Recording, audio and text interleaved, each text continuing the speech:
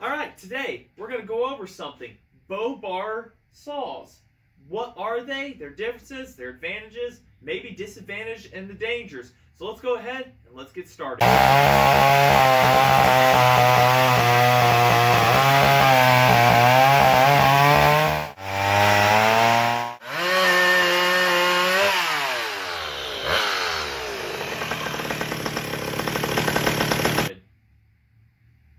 All right, so bow bars, they're different, and there's still people to this day that have never seen one of these or even know what they're used for, and they ask, and a lot of great questions on that. So let's go ahead and let's go over it.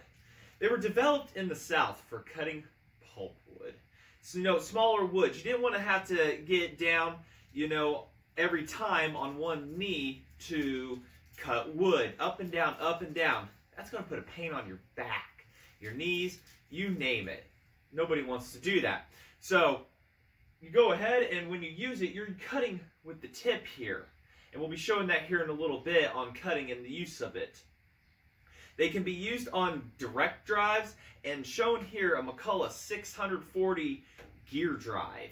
Is an 80cc saw. This one has a 2 to 1 output on it, running a half inch chain. I did a video a while back of adapting this Homelite bar to it, and I, if I remember, I'll put the link in the description on that. But this saw runs this one very nicely.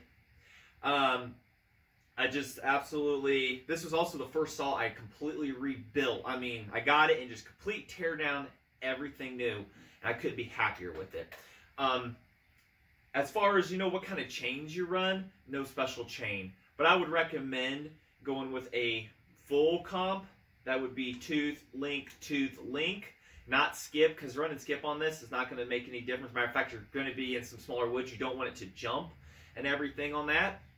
So it's just one of those, do that. And this is half inch chain right here. You can go 404, 3H, just depending on what your saws needs, you know, your sprocket and, you know, all the necessary stuff for it.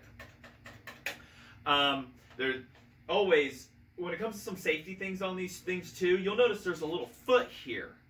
All right? You want to use that foot. It must be there. That keeps it from coming and kicking back up on you. And like I said, we'll show that in the video of cutting also when we're going.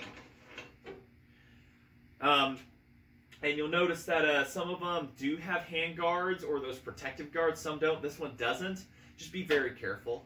Um, I do plan on making one for this at some point. There's a bolt hole here and here for it.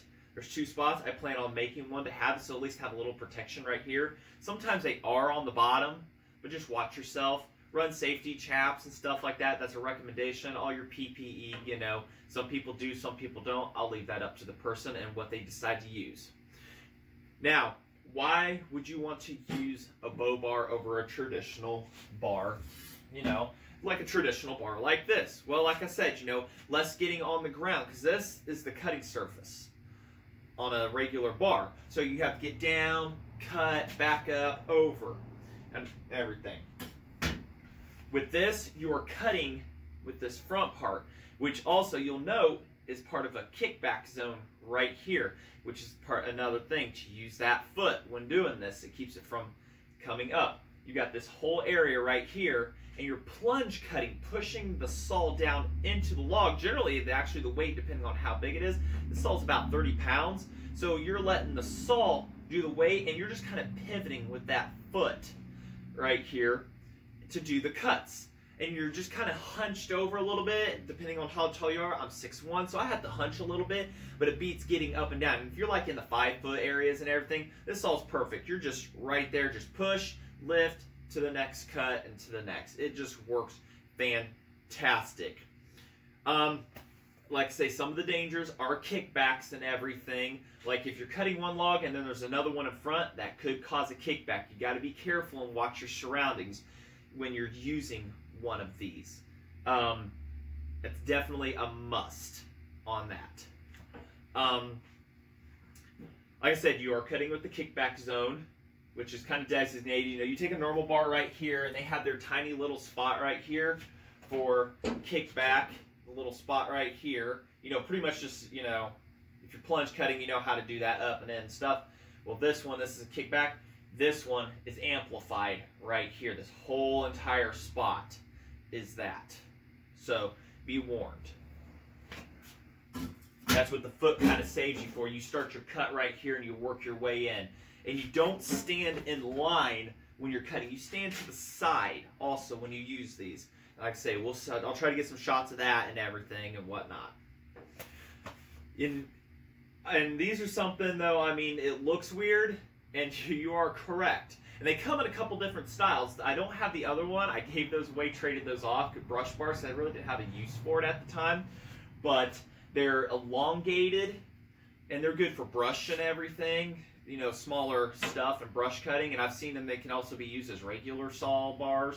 You know, so it's kind of a dual purpose. But for this one right here, you plunge cut. The cutting is all done on the nose right here. This is something that kind of you want to get used to doing and everything. You know, get comfortable with something with this and everything. Don't just jump right in. And as you use it more and everything, you get used to it, you'll find out that it really saves a lot of time with, you know, cutting wood and everything. Um, there's a reason why it's they're getting more popular, gaining their popularity and everything as people learn about them just because of the ability to cut wood faster and easier. They quit making them back in the day because people were getting careless and a lot of people were getting severely injured, in some cases killed, because of improper use of these. So just be warned of what you are dealing with. I mean, the chainsaw itself is a dangerous tool, but it's only as dangerous as you allow it to be to you. So you want to make sure your saw's in good working order and everything. It isn't trying to run away, scream, nothing like that, to where, you know, this could become that much more dangerous to you. So I guess let's go ahead and let's go make a few cuts with this and let's see, uh, we'll, I'll try to get some different shots of it for you of what's going on and everything and we'll do that.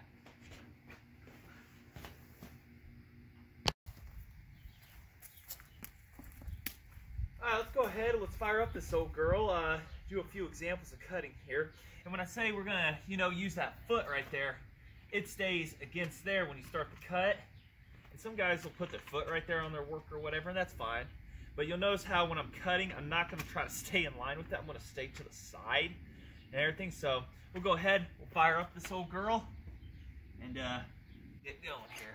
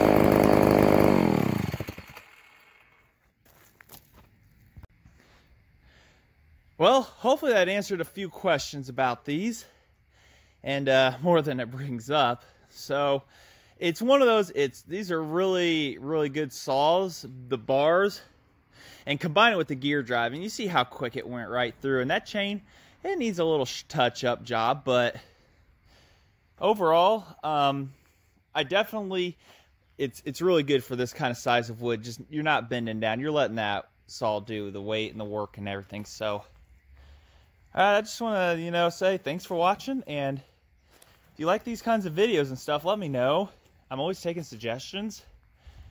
And uh, until then, uh, like, comment, subscribe. It really does help the channel out.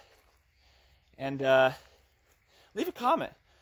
I, I, really enjoy, I try to respond to all the comments and everything. So, and any help and whatnot for part numbers and stuff that I can get you. So, all right, like I say, until then, thanks for watching.